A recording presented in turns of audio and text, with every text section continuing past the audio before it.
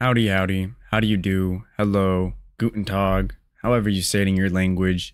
It's the one, the only Benjamin Scovach, the good American, the last good American. Today, I will be teaching you to pronounce the names of different countries, such as Morocco, Australia, Guatemala, Indonesia, and many, many more. Today's country of the day is Ukraine. Ukraine. Ukraine is a country in Europe. The currency used in Ukraine is the Ukrainian hryvnia. The capital of Ukraine is Kiev. Ukraine is home to the world's longest wind instrument, Ukraine. That is it for this video. You can go home.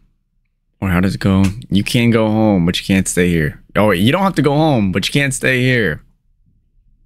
All right.